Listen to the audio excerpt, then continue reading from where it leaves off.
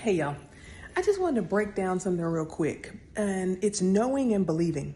There is a way that we can believe for something, but we don't know it to be true, right? And so sometimes our knowing and our believing comes into conflict because we want to trust our belief enough to build faith to step forward, but we don't know what's going to happen, right? So sometimes we have to overcome our knowing, our logical mind, and do what our intuition is telling us. We have to believe and then act, and that builds our faith. So knowing and believing can be different, but bridging the gap is the work.